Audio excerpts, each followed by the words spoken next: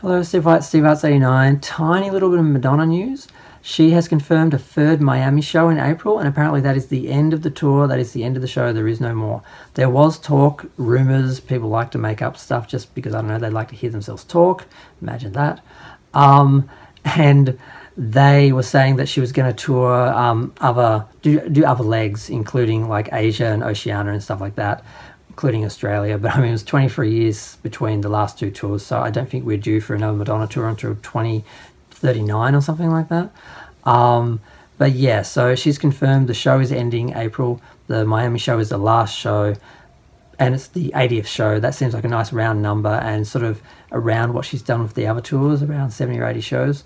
So I reckon that makes a bit sense. Now, could she take six months off and come back and do a second leg like she did with Sticky and Sweet? Maybe she wasn't 65, but it's not impossible.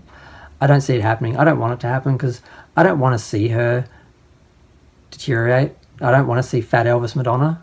Um, I'm happy to remember how she was on Rebel Heart when she was still Madonna and still amazing. So I'm glad she didn't come because I didn't have to decide whether or not to see her or not. So I'm happy for it to end here. and I don't have to worry about it for a few more years.